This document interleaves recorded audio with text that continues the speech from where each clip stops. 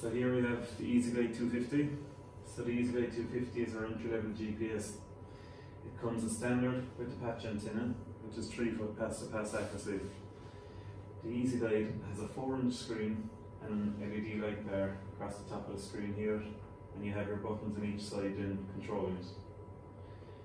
Your patch antenna can be upgraded to an i15 antenna, which will bring you down to 8 inch accuracy. The next system we have then is the GFX 350. So the GFX 350 comes with the NAV 500 receiver, which is 8 inch accuracy.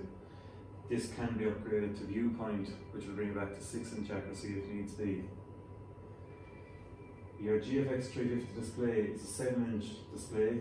It's an Android based tablet which works off Precision IQ. One of the major benefits of this over your EZ Guide 250 is that with your GFX 350 you can, through Isobus or TUVR, you can control rate and section control on your implement, whether that's a fertilizer spreader or a sprayer.